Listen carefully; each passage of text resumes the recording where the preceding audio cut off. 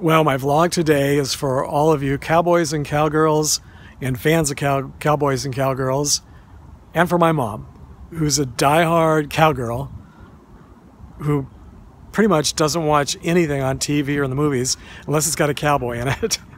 or read any books that aren't about cowboys or the Old West. So she's kind of a fanatic. I guess that's where I get my fanaticism. Only I'm uh, I'm I'm kind of a cemetery fanatic, and she does not like cemeteries at all. The one exception, of course, is to see the grave sites of her favorite cowboys. So this one's for her. Hi, friends. Greetings from the graveyard. And thanks for joining me on another one of my road trips to the past to visit the famous, weird, unusual, and most interesting cemeteries, grave sites, memorials, and final resting places that I can find. I'm here at Wyatt Earp's grave. Finally made it. It's in the Hills of Eternity Cemetery here in Colma, California, just south of San Francisco that direction there. Beyond those hills there, that's the ocean. I don't even need to ask who's a fan of Wyatt Earp because pretty much everyone is. So the grave, the gravestone or headstone that you see right there is not the original. It's actually either the third or the fourth. The first three or four have been stolen. I mean, isn't that amazing that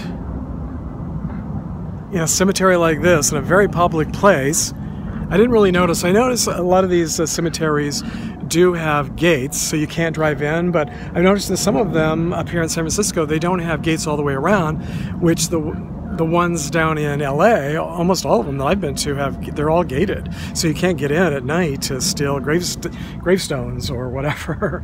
but uh, apparently, the story goes when he when he died, his wife is Jewish, so this is a Jewish cemetery. She had him cremated and she had him secretly buried here. I don't know if, if it's against customs. Now, Norma from Las Vegas, if you're watching, I'm sure you'll probably know. You always uh, fill me in on all the, uh, the uh, details that I'm missing when it comes to, especially uh, the Jewish cemeteries.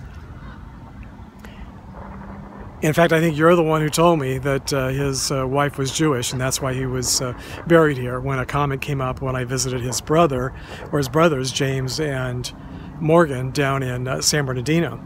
So apparently, his wife had him cremated, had him buried here secretly, and then when she died years later, Josephine Sarah Marcus, she died in 1944, he died in 1929, that she was buried. She's actually apparently buried here with his ashes. Now, the first headstone that she had placed after she died was a small little white uh, headstone. That was stolen. It was later recovered in somebody's backyard, I think. And uh, I think that's what I read. And it's now in the Colma Museum. Now, the two museums that are here, they're both closed today. And so I was go- I was going to go take a look at it, but uh, but they're closed. I'm here on a Sunday, so the uh, I guess they placed another one, and then that was stolen. And then the third one, I guess someone was trying to dig up his ashes.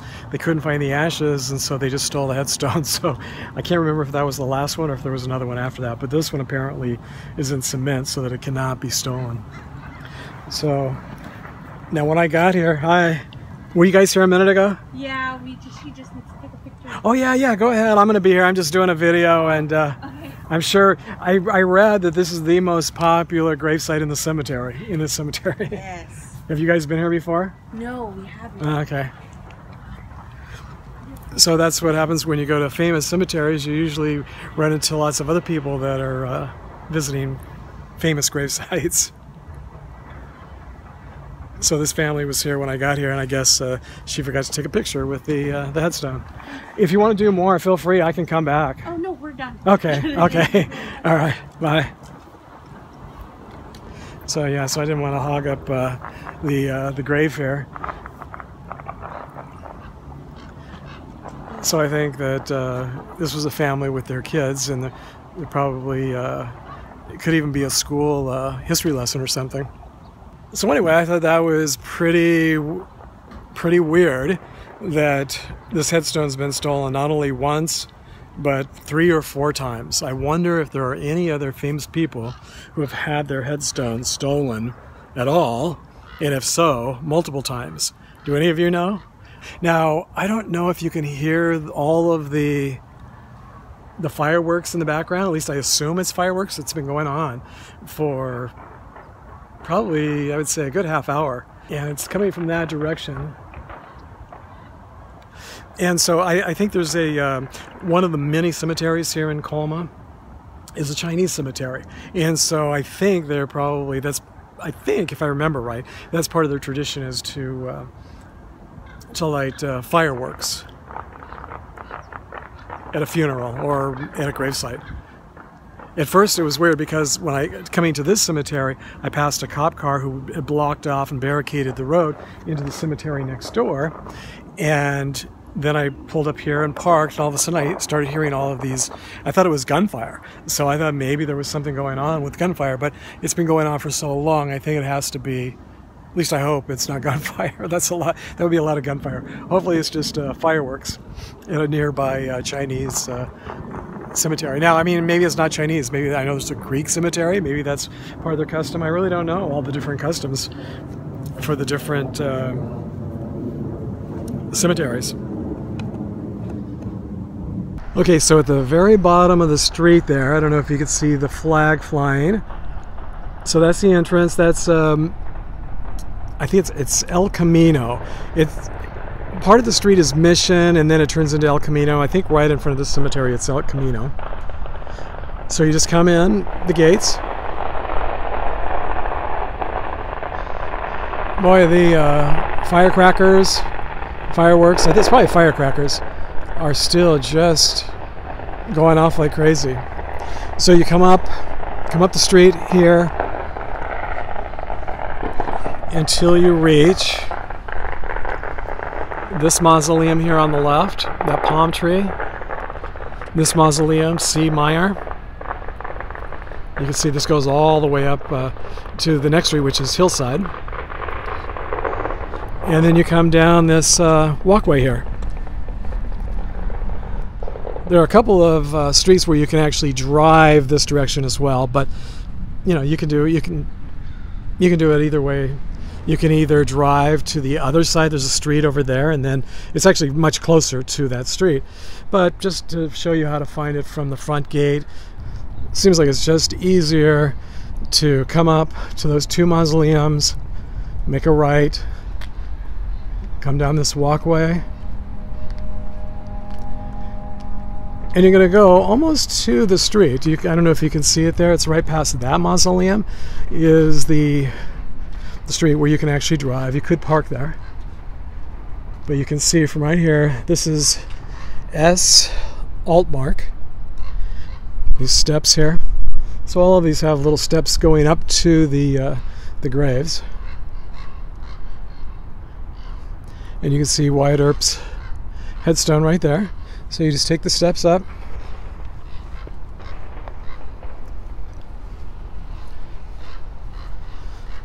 And you're right here.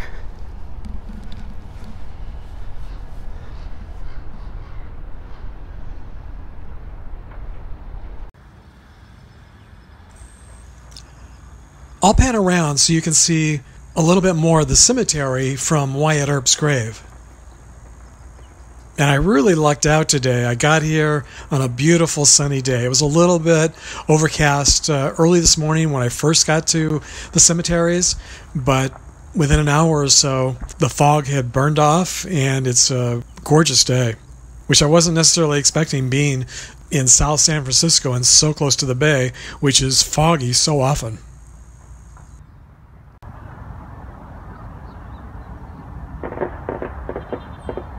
Can you hear those fireworks? They really are loud.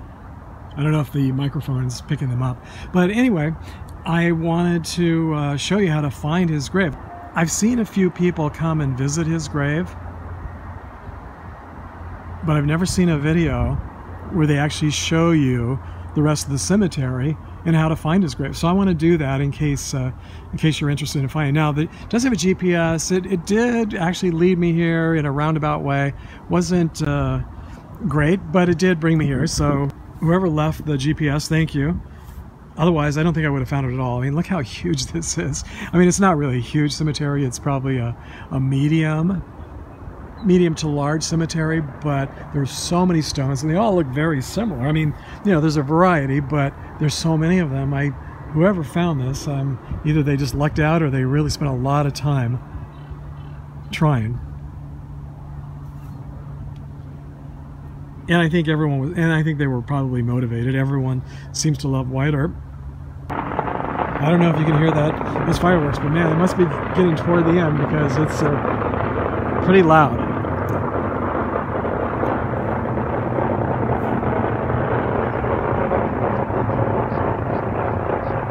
Wow, that's uh, that's pretty impressive.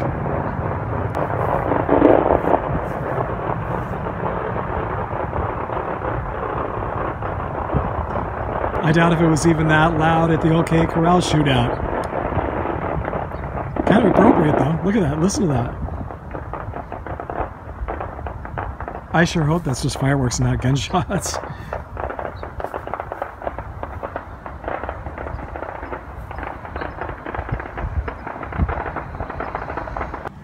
so I'm not going to tell you the uh, the whole story or the whole biography of uh, Wyatt Earp. I'm sure you probably already know if you're watching this, and if not, you can certainly watch the movies, read the books, watch the documentaries, read any number of articles online. He's one of the most famous uh, cowboys uh, from the Old West, and. Um, but I will tell you a couple of interesting things. I, for me, I was wondering, it's like, well, how did he become so famous?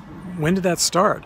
You know, he was uh, it was back in the uh, what was it, 1848 to 1929, and in the 1800s, it's like I I was kind of curious how do famous cowboys become famous after the fact? You know, where where do these legends come from? Now he was part of the OK Corral shootout, but how did that become famous? You know, so. I was reading about him, and they were saying I thought was really interesting. They said that he actually did a lot of self promotion. He wanted to be well known. He wanted to be famous. He wanted his story to be told. And uh, so he got to know some of the uh, screen cowboys that were very famous in his time. This was like mostly silent era uh, screen cowboys like. Um, William Hart and Tom Mix were two of the uh, screen way before my time. I know who they are. I've heard their names, and maybe my grandparents and my mom, you know, knew who they were. My mom loves cowboys, so I'm sure she probably watched uh, their movies, you know, back when when she was just a, a little kid. And uh, but he got to know he got to know them and you know maybe he consulted on the movies with them and stuff and uh, he tried to get his story told and you know nothing really came of it when he was alive but when he died they were two of the pallbearers so he had these hollywood connections with two of the most famous screen cowboys of their time. I mean, they were like the, you know, the Roy Rogers and the uh, Gene Autry that came, you know, decades later. Then right after he died, someone wrote a bestseller called Wyatt Earp Frontier Marshal. That was published in 1931, and apparently, you know, when after it became a best-selling book, that really put him on the map. And then from there, it just the legend grew and grew, and the movie started, and more books and uh, more documentaries, and the rest is history. So he actually got what he wanted posthumously. So he, fortunately, he never really got to to uh, enjoy his fame. Doesn't Hills of Eternity sound like the perfect spot for a cowboy to be buried?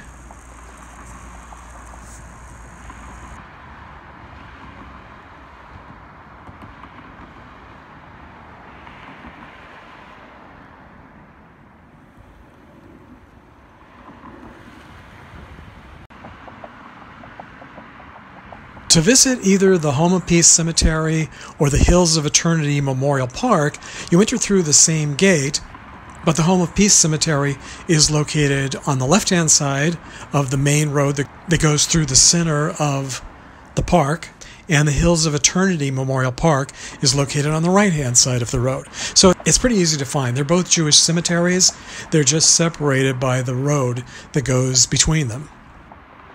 Wyatt Earp's final resting place is on the right hand side in the Hills of Eternity, and almost in the same row, but just on the other side of the street in the Home of Peace, is the very grand mausoleum of Levi Strauss. I'll show you Levi Strauss's mausoleum and final resting place in a future video, but for today, I just wanted to visit the gravesite of Wyatt Earp. So, as always, thanks for joining me today.